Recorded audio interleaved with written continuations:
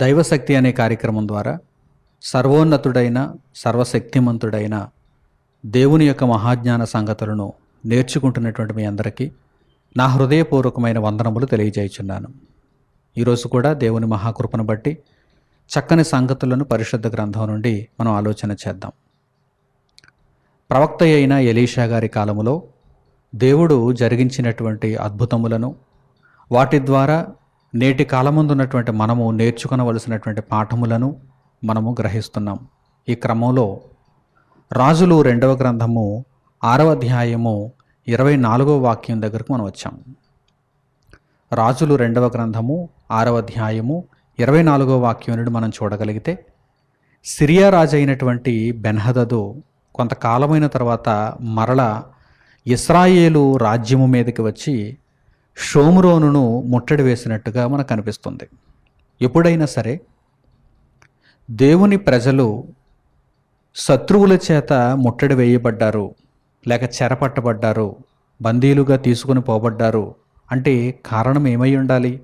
దేవుడు ముందుగా చెప్పినటువంటి మాటలే మనకు జవాబును అనుగ్రహిస్తాయి. ఏమి చెప్పాడు దేవుడు ముందుగా? నేను మీకు వాగ్దానము చేసి ఇచ్చినటువంటి దేశంలో మీరు దీర్ఘాయుష్మంతులుగా మీరు శత్రుభయము లేనివారుగా మీరు సంతోషముగా జీవించాలి అంటే గనక నా ధర్మశాస్త్రమును అనుసరించాలి అని దేవుడు ముందుగా ఇస్రాయేలీలకు తెలియజేశాడు.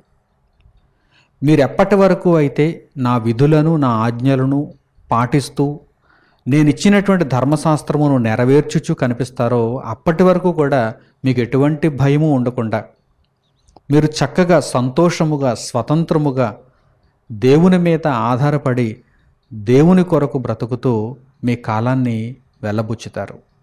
అయితే మీరు ఎప్పుడైతే దేవుని యొక్క వాక్యాన్ని అతిక్రమిస్తారో? ఎప్పుడైతే ధర్మశాస్త్రాన్ని విసర్జిస్తారో? ఎప్పుడైతే దేవునికి భిన్నముగా మీరు తిరిగిపోతారో అప్పటి నుండి మీకు శ్రమలు ప్రారంభమైపోతాయి అని దేవుడు ముందుగానే ఇస్రాయేలీలకు తెలియజేశాడు.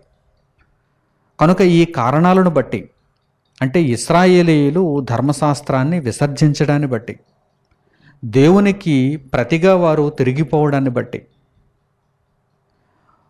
వారి మీదకి శత్రువులు వచ్చారు. శత్రువులను దేవుడే పంపించాడు. దేవుడే శత్రువులకు అనుమతినిచ్చాడు. శత్రువుల నుండి కాపాడడం ఆయనకు పెద్ద పన ఆయన సర్వశక్తిమంతుడు. అనేక పర్యాయములు ఇస్రాయేలీలు వేడుకున్నప్పుడు వారిని దేవుడు కాపాడాడు. కానీ వీరి యొక్క పాపములు అతి భయంకరమైనవిగా కనిపిస్తున్నప్పుడు అతి భారముగా కనిపిస్తున్నప్పుడు దేవుడు ఇస్రాయేలీలను ఇంకా ఎందుకు కాపాడతాడు? కనుక శత్రువుకు అనుమతినిచ్చాడు.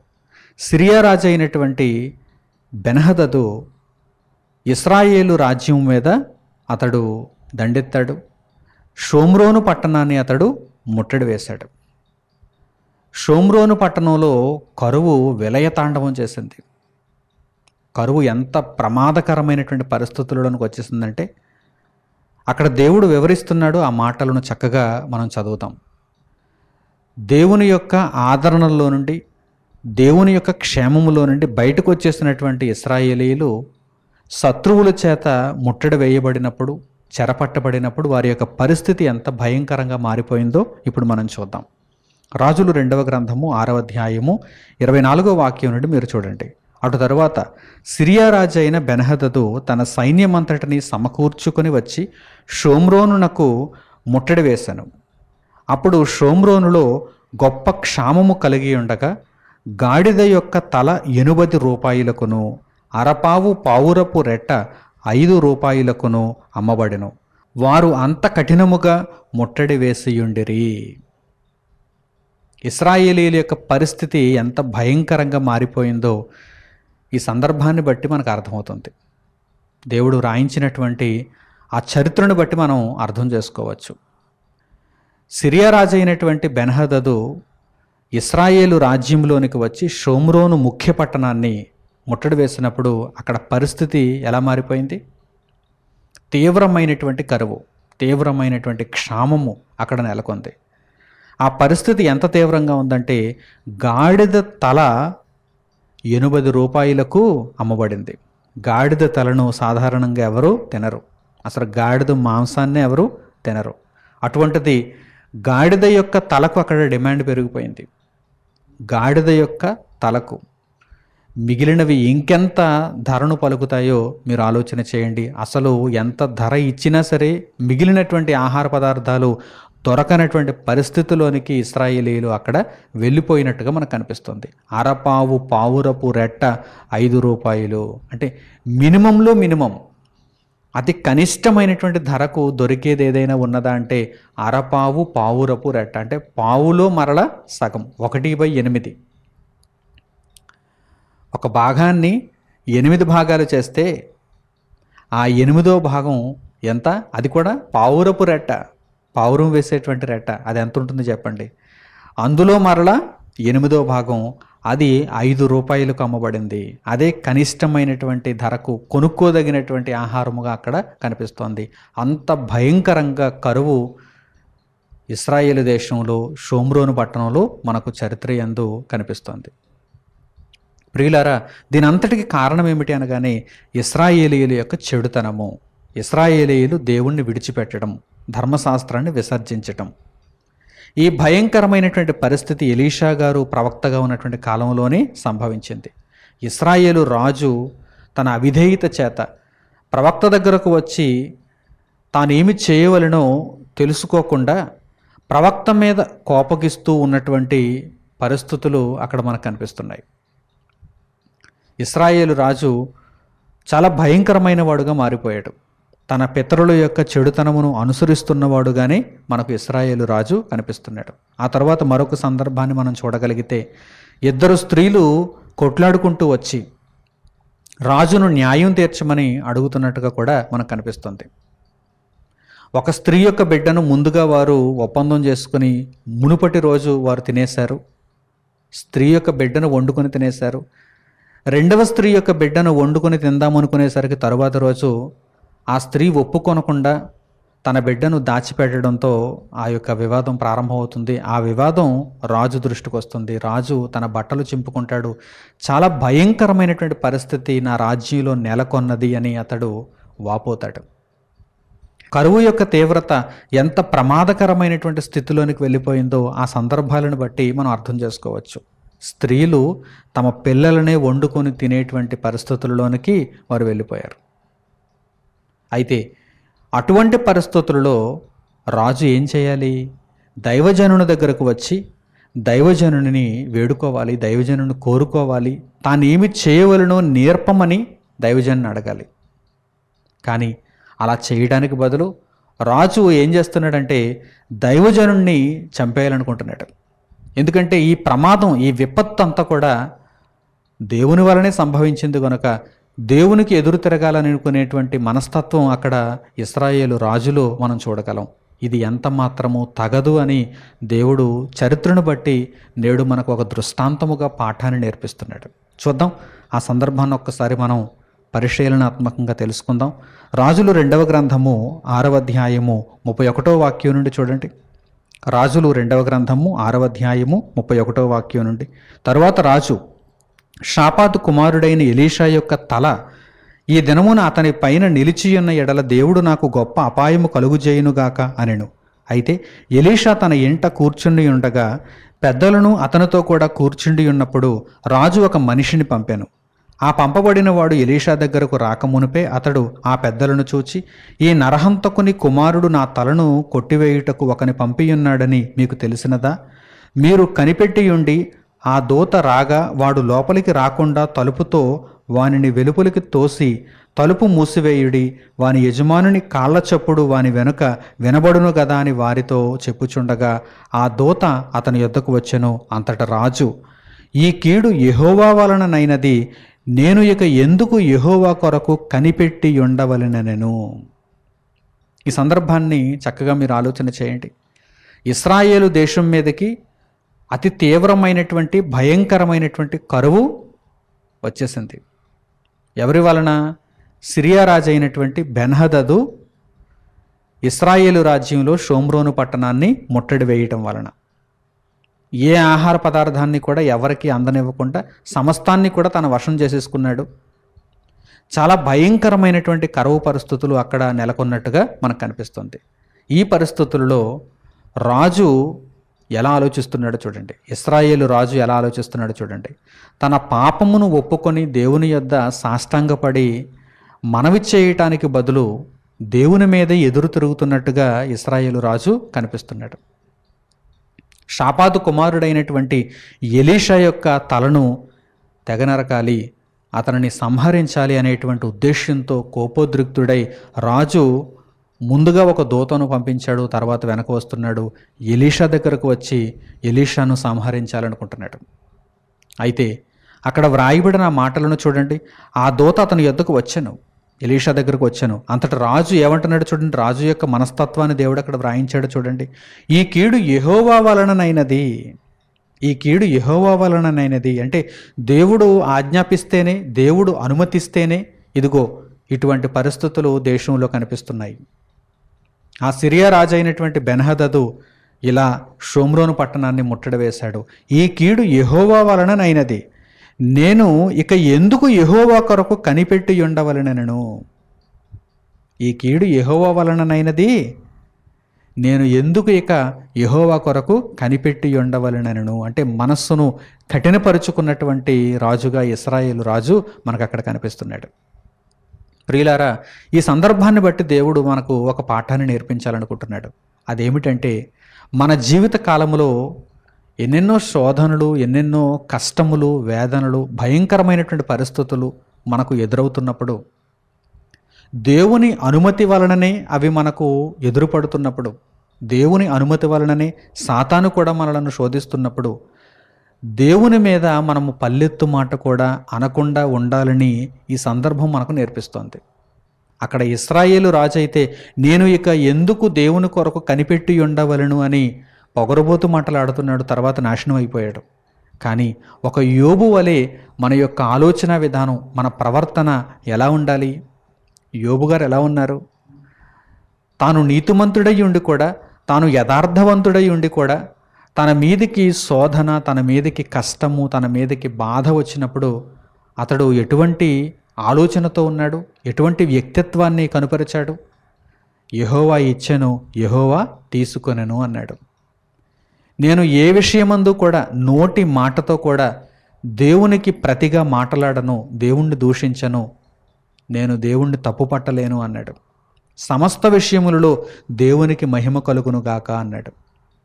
కానీ ఇక్కడ ఇస్రాయేలు రాజు యొక్క చెడుతనమును బట్టి షోమ్రోను పట్టణం మీదకి సిరియారాజు అయినటువంటి బెనహదదు దండెత్తి వచ్చాడు. ఇస్రాయేలీల యొక్క చెడుతనమును బట్టి షోమ్రోను పట్టణంలో భయంకరమైనటువంటి కరువు పరిస్థితులు నెలకొన్నాయి. వారేమి నీతిమంతులైన దానిని బట్టి దేవుడు వారికి ఈ కష్టాలను అనుమతించలేదు.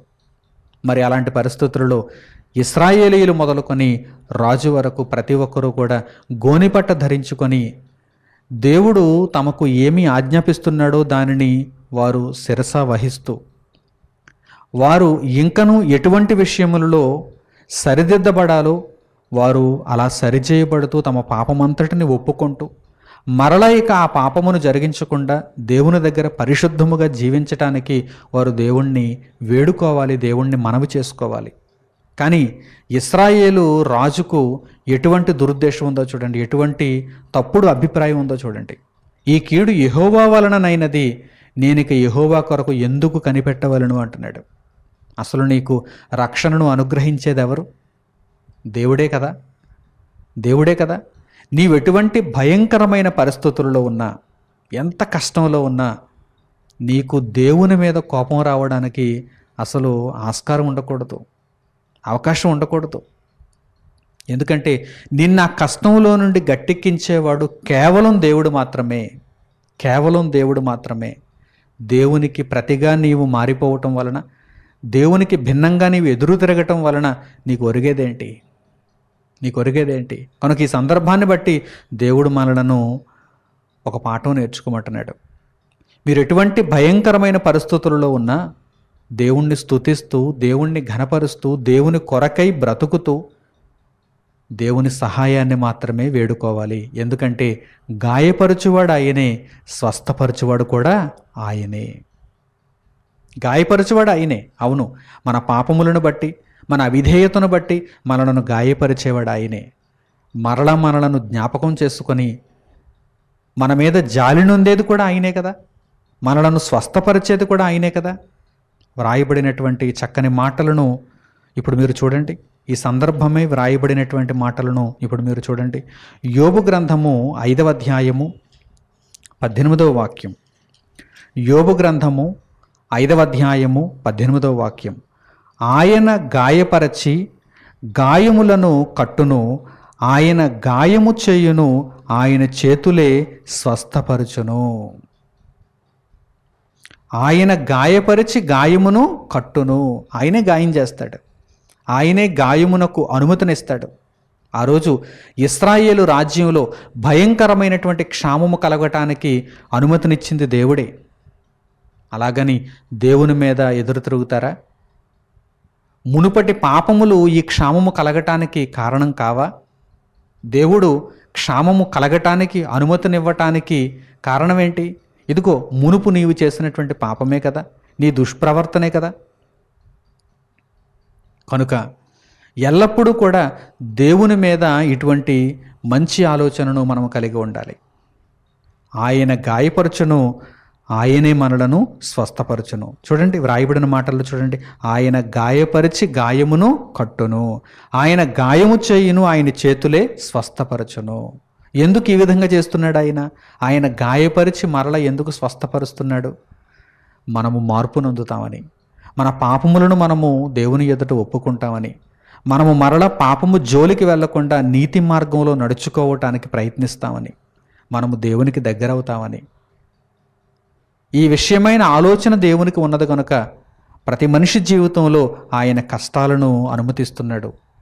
ఆయన శోధనలను అనుమతిస్తున్నాడు. మరింత సువర్ణముగా మారి మనము దేవుని చేత ఆదరింపబడతామని దేవుడు కోరుకుంటున్నాడు. కనుక ఎటువంటి పరిస్థితులలో కూడా దేవుని మీద ప్రతిగా మీరు మాట్లాడకండి. ఇస్రాయేలు రాజు ఆనాడు అవివేకముగా మూర్ఖముగా మాట్లాడినట్టుగా. ఈ కీడు యహోవా వలన కలిగినది కనుక యహోవా కొరకు నేను ఎందుకు కనిపెట్టవలనని అతడు గర్వముగా అతడు మూర్ఖముగా అవివేకముగా మాట్లాడిన దానిని బట్టి మనము అట్టివారముగా ఉండకుండా ఆయన గాయపరిస్తే ఆయనే ఆ గాయములను కడతాడు. ఆయన గాయపరిస్తే ఆయనే నన్ను స్వస్థపరుస్తాడనేటువంటి గొప్ప విశ్వాసముతో దేవుని యొద్ద నమ్మకమైనటువంటి స్థిరబుద్ధితో మనం ఉండగలిగితే దేవుడు తప్పకుండా మనలను జ్ఞాపకం చేసుకుంటాడు. పరిశుద్ధ గ్రంథంలో మరొక చక్కని సందర్భాన్ని కూడా ఈ విషయమై మనం ఆలోచన చేద్దాం. యషయా గ్రంథము పంతొమ్మిదవ అధ్యాయము ఇరవై రెండవ వాక్యాన్ని మీరు చూడండి. యషయా గ్రంథము పంతొమ్మిదవ అధ్యాయము ఇరవై రెండవ వాక్యం. యహోవా వారిని కొట్టును స్వస్థపరచవలనని ఐగుప్తీయులను కొట్టును వారు యహోవా వైపు తిరుగగా ఆయన వారి ప్రార్థనను అంగీకరించి వారిని స్వస్థపరచును. ఎందుకు ఆయన గాయం చేస్తున్నాడు? ఎందుకు ఆయన కొడుతున్నాడు? ఎందుకు క్షామములోనికి నెడుతున్నాడు? ఎందుకు శోధనను అనుమతిస్తున్నాడు? ఎందుకు అంటే సమాధానం ఇక్కడ మనకు దొరుకుతుంది చూడండి. సమాధానం ఇక్కడ మనకు దొరుకుతుంది చూడండి. యహోవా వారిని కొట్టను. దేవుడే ప్రతి మనిషికి వారి వారి జీవితాలలో శోధనలను అలాగే కష్టాలను ఇబ్బందులను వేదనలను అనుగ్రహిస్తున్నాడు అనుమతిస్తున్నాడు. యహోవా వారిని కొట్టును. ఎందుకని? వారు యహోవా వైపు తిరుగగా ఆయన వారి ప్రార్థనను అంగీకరించి వారిని స్వస్థపరచును. నీవు దేవుని వైపు తిరగాలని నీవు దేవునికి మరింత చేరువ కావాలని దేవుడు నీకు గాయం చేస్తున్నాడు నిన్ను కొడుతున్నాడు. అంతేగాని నీవు మరింతగా దేవునికి మరలా దూరం అయిపోతావని కాదు. నీవు దేవుని మీద మరలా వ్యతిరేకంగా మాట్లాడతావని కాదు. ఇక దేవుని కొరకు కనిపెట్టకుండా నీవు వెనక్కి వెళ్ళిపోతావని కాదు. నిన్ను దేవుడు ఎందుకు గాయం చేస్తున్నాడంటే ఆయన నిన్ను స్వస్థపరచాలని నీవు ఆయన వైపు తిరిగి ఆయనకు నీవు ప్రార్థన చేస్తావని ఆయన ఎదురు చూస్తున్నాడు. కనుక ఈ సందర్భాన్ని బట్టి మనం చక్కగా పాఠాన్ని నేర్చుకోవాలి. సర్వశక్తిమంతుడైనటువంటి దేవుడు మన జీవితకాలం అంతయు మనము ఆయన వైపు తిరగాలని ఆయన మీద ఆనుకోవాలని ఆయనకు ప్రార్థించాలని ఆయన సహాయాన్ని కోరుకుంటూ పాపమును విడిచిపెట్టి నీతి మార్గమందు నడుచుకోవాలని ఆయన ఎదురు చూస్తున్నాడు కనుక అటువంటి ఆలోచనలు కలిగిన వారమై గాయపరచబడిన ఆయన చేసే స్వస్థత కొరకు ఎదురు చూచుచు మన బ్రతుకును నీతి మార్గంలో మనం నడిపించుకోవాలని ఈ సందేశము ద్వారా మనం నేర్చుకుంటూ దేవుని కొరకై క్రీస్తులో ముందుకు కొనసాగుదాం. చక్కని నిర్ణయాలు తీసుకుంటారని హృదయపూర్వకంగా కోరుకుంటూ ఈ సందేశమును ఇంతటితో నేను ముగిస్తున్నాను. తండ్రి అయిన దేవునికి ప్రార్థనలో ఏకీభవించండి. మహోన్నతుడు అయిన మా కన్న తండ్రి మీ అమూల్యమైన మాటలను దివ్యమైనటువంటి ఔషధ మూలికలుగా మాకు అనుగ్రహించుచున్నందుకు మా హృదయపూర్వకమైన కృతజ్ఞతాస్థుతులు మీకు చెల్లిస్తున్నాము. అమితమైన అపారమైన విశ్వాసమును మీ ఎడల మేము కలిగి ఉండి ఎటువంటి పరిస్థితి ఎందును మీకు భిన్నముగా మేము తిరిగిపోకుండా మిమ్మను అంటిపెట్టుకుని జీవించగలుగుటకు మాకు సహాయమును దయచేయండి తండ్రి. మమ్మను మీరు గాయపరిచిన మీ చేతులే మమ్మను స్వస్థపరచును కనుక ఎల్లప్పుడూ మీ వైపు మేము చూస్తూ మీ ఆదరణ కొరకు కనిపెడుతూ తండ్రి మీ సహాయము కొరకు మేము దినమెల్లా ఎదురుచూచుచు. మిమ్మను సన్నుతించి వారముగా మిమ్మను స్తుతించి ఘనపరచు వారముగా ఉండగలుగుటకు మాకు నూతన హృదయమును దయచేయండి.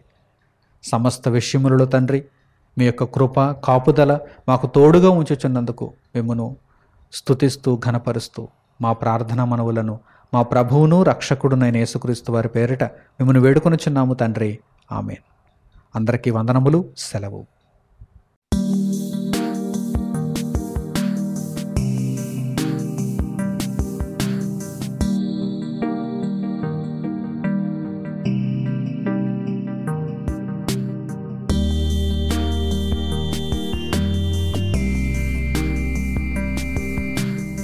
సహోదరులు మణికుమార్ గారు ప్రసంగించిన ఎన్నో ఆత్మ సంబంధమైన సంగతులను ఉచితంగా వీక్షించుటకు మా యూట్యూబ్ ఛానల్స్ను తప్పక దర్శించండి. మా సమాచారమును ఎప్పటికప్పుడు తెలుసుకొని ఆత్మీయ అభివృద్ధిని అందవలనంటే మా యూట్యూబ్ ఛానల్స్ సబ్స్క్రైబ్ చేసుకోండి. సత్వర నోటిఫికేషన్ కొరకు సబ్స్క్రైబ్ బటన్ ప్రక్కన ఉన్న బెల్ సింబల్ను క్లిక్ చేయండి. మరిన్ని వివరాలకు మీరు సంప్రదించవలసిన మా phone numbers eight nine seven eight four one four one seven eight మరియు eight double three three nine two seven triple six ధన్యవాదములు